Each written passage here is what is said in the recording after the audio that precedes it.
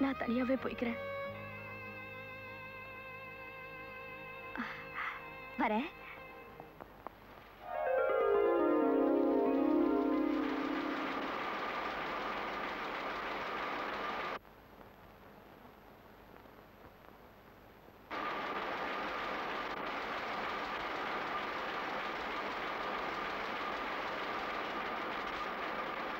பெண்களை வைத்து வியாபாரம் செய்யும் பிம்பு காசிநாத் கொலை.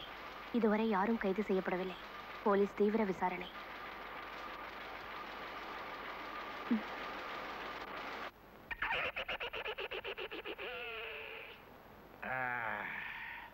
ஓய் அன்னைக்கு என்னமோ பெருசா சொன்னீரே. புதுசா வந்திருக்க ராதா என்னத்தை எழுதி கிழிச்சு போறான்னு.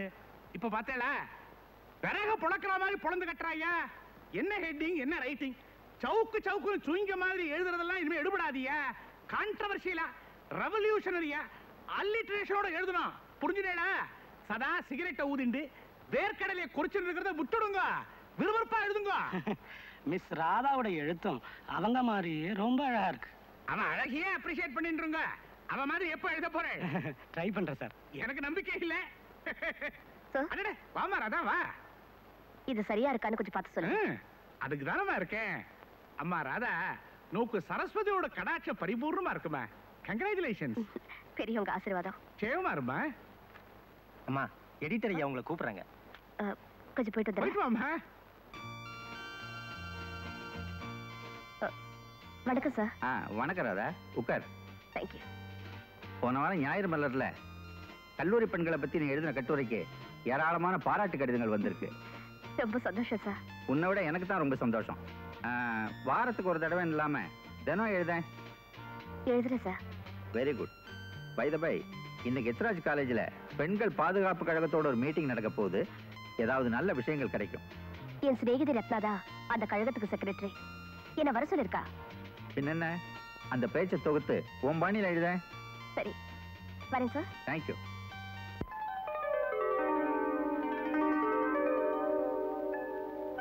இந்த கூட்டத்திற்கு பிரபல மனோதத்துவ நிபுணர் டாக்டர் திருமதி ஜானகி அவர்களை தலைமை தாங்கி நடத்தி தரும்படி பெண்கள் பாதுகாப்பு கழகத்தின் செயலாளர் என்ற முறையில் பணிவன்புடன் கேட்டுக்கொள்கிறேன்.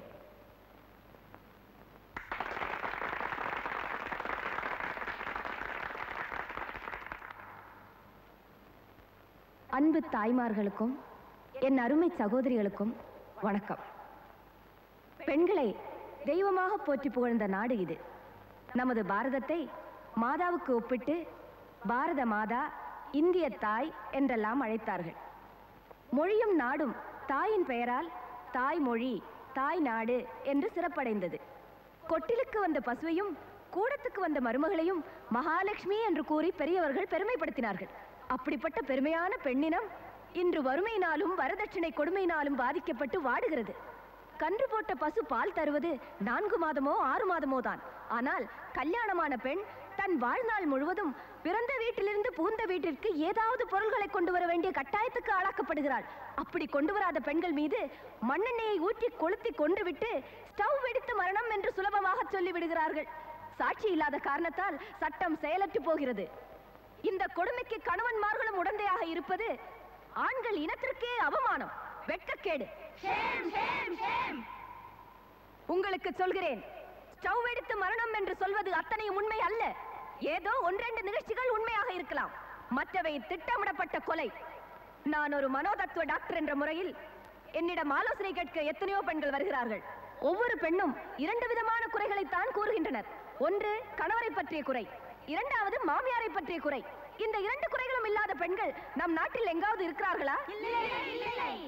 கற்பு கற்பு என்று ஆண்கள் கதைக்கிறார்களே அந்த கற்பின் இன்றைய நிலை என்ன? உறுதியான கற்புடைய ஒரு பெண்ணை விட மேலானது இந்த உலகத்தில் வேறொன்றும் இல்லை என்றார் திருவள்ளுவர். அப்படிப்பட்ட கற்புடைய ஒரு பெண் தன்னந்தனியாக நடுகிரவில் நடமாட முடிகிறதா? முடியும் என்று சொல்லக்கூடிய துணிச்சல் உள்ள ஒரு பெண் எழுந்து நிற்கட்டும் பார்க்கிறேன். யார்? கமான் கெட் அப் கமான் உண்மையிலேயே நான் வெட்கப்படுகிறேன். உங்களை பார்த்து அல்ல இந்த சமூகத்தை பார்த்து. வெளியில் தனியாக செல்லும் ஒரு பெண்ணின் உடைமைக்கும் கற்புக்கும் இன்று உத்தரவாதம் இல்லை. பெண் என்றால் பேயும் இறங்கும். இன்று எந்த மனித பேய் உங்களை கண்டு மனம் இறங்குகிறது? கேவலம் கவரின் செயினை தங்கம் என்று கருதி எத்தனை கழுத்துக்கள் நெருக்கப்படுகின்றன? காதில் கிடக்கும் அரை கிராம் தங்கத்துக்காக கள்ளம் கவனம் இல்லாத எத்தனை பிஞ்சு குழந்தைகள் வஞ்சகமாக கடத்தப்படுகின்றன? லிசன் பெண்கள் தங்கள் பாதுகாப்புக்காக ஏதேனும் ஆயுதம் வைத்துக் கொண்டால் கூட தவறில்லை என்ற நிலைமை இன்று உருவாகி இருக்கிறது. பஸ் ரயில் நிலையங்களில் வெளியூரிலிருந்து தனியாக வரும் அப்பாவி பெண்களை ஏமாற்றி அழைத்துச் சென்று அவர்கள் கற்பை சூறையாடி வியாபாரம் நடத்துகின்ற வெட்கம் மானம் இல்லாத பிம்ப் என்ற வெறிநாய்களை பற்றி பத்திரிகையில் படிக்கிறோம். அப்படிப்பட்ட கொடிய கூட்டத்தைச் சேர்ந்த ஒருவன் கத்தியால் கழுத்தறுக்கப்பட்டு கொலை செய்யப்பட்டிருக்கிறான். அந்த கொலையாளியை போலீஸ் தேடிக்கொண்டிருக்கிறதா இப்படிப்பட்ட ஒரு சண்டாளன் கொலை உண்டதால் இந்த சமூகத்துக்கு நன்மையை தவிர நஷ்டமில்லை. திருடனை கொட்டிய தேளை தேடி கண்டுபிடிக்க வேண்டுமா? தண்டிக்கப்பட வேண்டியது திருடனா தேளா? கேட்டால் சட்டம் என்று பதில் வரும். அந்த சட்டத்தின் உதவியை நாடி காவல் நிலையத்திற்கு சென்ற ஒரு அப்பாவி பெண் அங்கேயே கற்பழிக்கப்பட்ட செய்தியை நீங்கள் பத்திரிகையில் படித்திருப்பீர்கள். தனிப்பட்ட ஒருவன் செய்கின்ற தவறால் காவல் நிலையத்துக்கே களங்கம் ஏற்படுகிறது. இப்படிப்பட்ட புல்லருவிகள் மீது காவல்துறை கவனம் செலுத்த வேண்டும். இந்த காலத்து பெண்கள் வீட்டில் பொறுப்பாகவும் வெளியில் நெருப்பாகவும் இருக்க வேண்டும். எழுச்சி கொண்ட பெண்களை அடக்க எந்த சக்தியாலும் முடியாது. பெண்கள் மாலப் பிறந்தவர்கள் அல்ல. நாட்டை ஆள பிறந்தவர்கள் என்பது அகில உலக நிரூபிக்கப்பட்டு விட்டது.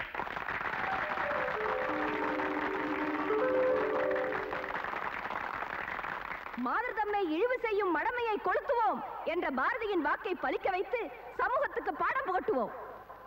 வாழ்க தாய்க்குலம்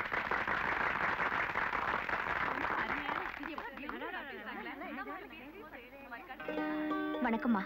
வணக்கம். என் பேர் ராதா. நான் சமுதாயம் பத்திரிகை நிருபர். அப்படியா? ரொம்ப சந்தோஷம். இப்படிப்பட்ட புரட்சிகரமான கருத்துக்களை உங்க மாதிரி ஒரு தாய் மூலம் நான் இப்பதான் முதல் தடவையா கேட்கிறேன் உங்க பேச்ச எங்க பத்திரிகையில நான் பப்ளிஷ் பண்ண போறேன். நன்றி. வரேன். பாய்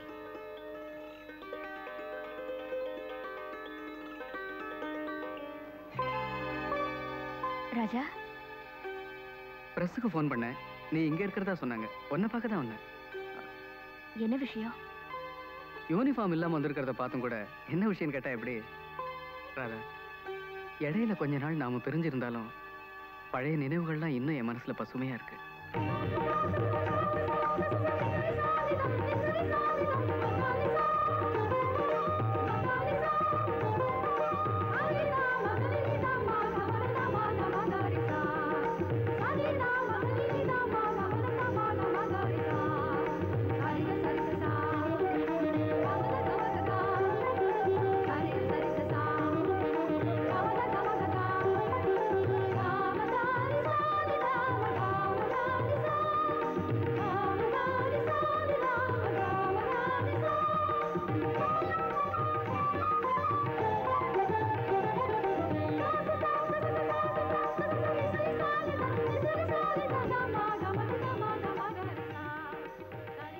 பழசையெல்லாம் மறந்துட்டே ராதா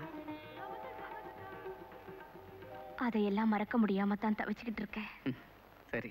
அப்ப என் கூட வா. உங்ககிட்ட மனசு விட்டு நிறைய பேசணும்.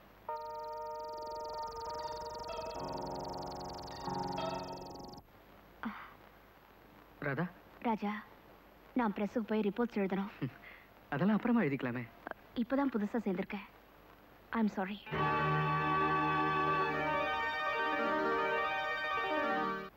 Jana sir நான் தான் விக்கி பேசுறேன்.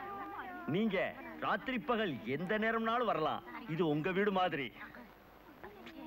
நாம என்ன கோயிலுக்கா போறோம்? ஆ. பட்டுப்படவை கட்டிட்டு பொட்டு வச்சுக்கிட்டு தலையில பூ வச்சுக்கிறதுக்கு. கரெக்டா சொன்னடி. நீ சீட்டை போடுறி. ஏ நாய்களா குலைக்காதீங்கடி. உங்களே இல்ல சார் நீங்க தப்பா நினைக்காதீங்க. இது. போலீஸா? இந்த இடத்துல அந்த வேலை நடக்குதுன்னு எந்த போலீஸுக்கும் தெரியாது. நீங்க தைரியமா வரலாம். சரி சரி. நானே ஹோட்டலுக்கு அழைச்சிட்டு வந்துடுறேன். ஆமா ஆமா. அதே பறவை தான். ஆ. என்னமோ கொஞ்ச நேரம் ஜாலியா விளையாடி விட்டு போகலாம்னு வந்தா ஒரே வேதாந்தம் பேசுறாங்க. ஏனுங்க காசை கொடுத்து விட்டு காதல் பண்ண வந்தானுங்களா?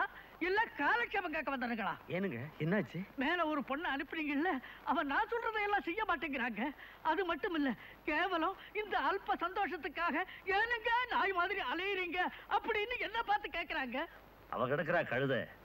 நீங்க மேல போங்க. வேற ஆள் அனுப்புறேன். வேண்டாங்க. உங்க மாதிரி வாடிக்கைக்காரங்க திருப்தி இல்லாம போனா என் பிசினஸ் பாதிக்கும். ப்ளீஸ் கைய விடுங்க. இனிமே இந்த இடத்துல அடி எடுத்து வைக்க மாட்டேன். எனக்குன்னு ஒரு கௌரவம் இருக்குதுங்க. போயா கட்டில பண்டாட்டியை விட்டுட்டு கள்ளத்தனமா குச்சி நுழையிற காளி பசங்களுக்கு கௌரவம் வேற கௌரவம். மூஞ்ச பாரு. சரிதான் போடி. அதான் போடா. ஏய் என் எதிரிலேயே? என் கஸ்டமரை இன்சல்ட் பண்றியா? போடி. எங்க அந்த நாய்?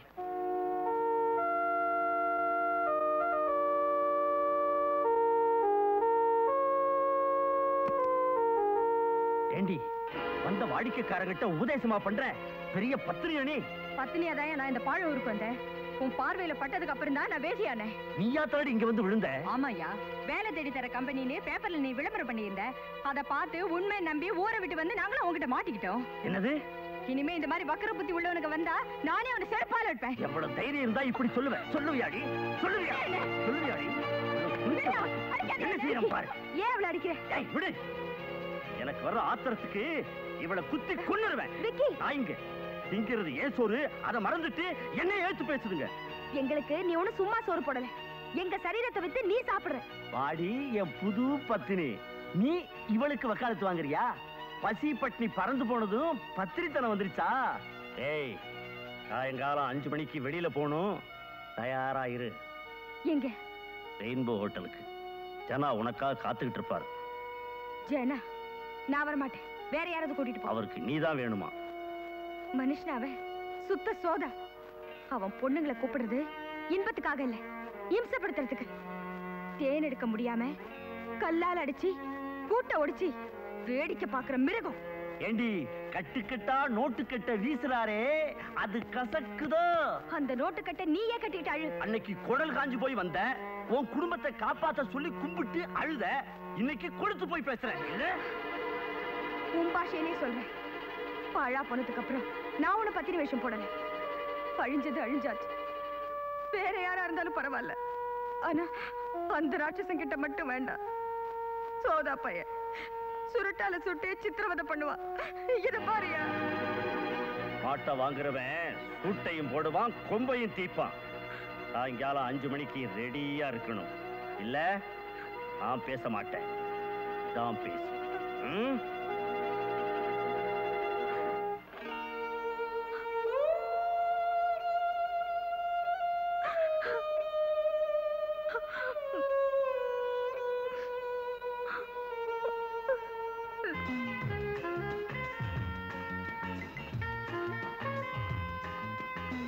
எக்ஸ்கியூஸ் மீ எஸ் கணித மேதை சகுந்தலா தேவி இங்க தானே தங்கியிருக்காங்க? ஆமா. நான் சமுதாயம் பத்திரிகையிலேருந்து அவங்கள இன்டர்வியூ பண்ண வந்திருக்கேன். எந்த ரூம்ல இருக்காங்க? அவங்க த்ரீ நாட் ஒன்ல இருக்காங்க. ஓ. ரூம்ல இல்ல வெளியே போயிருக்காங்க. இப்போ வந்துருவாங்க. Please be seated thank you